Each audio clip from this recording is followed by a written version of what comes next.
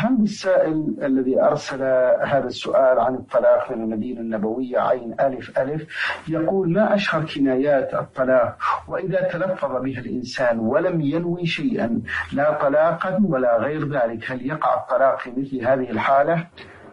الكنايات في الطلاق هي التي تحتمل الطلاق هي الألفاظ التي تحتمل الطلاق وتحتمل غيره هذه هي الكنايات وهي على نوعين كنايات صريحة كنايات ظاهرة صريحة وكنايات خفية. فالكنايات الظاهرة مثل أنت باين أنت بتة أو بتلة أو ما أشبه ذلك. والكنايات الخفية مثل اذهبي إلى أهلك انتهى ما بيني وبينك إلى آخره. نعم.